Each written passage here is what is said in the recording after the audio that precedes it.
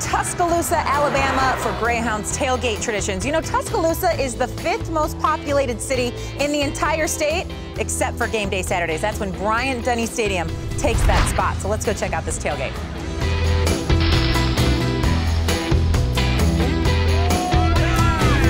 I think we've got the biggest Alabama fan around now. What's your name?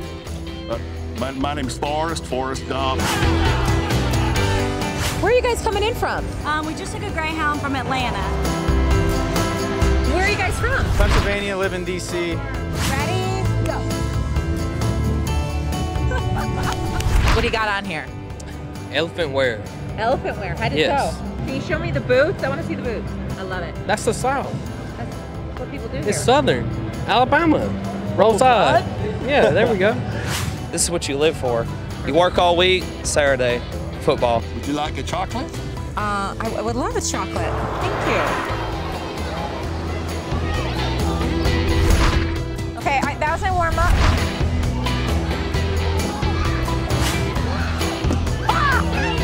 I, I gotta run right now. All right. Bye, Forrest. Thank you. You're welcome. Well, it's nice talking to y'all. Have a nice day.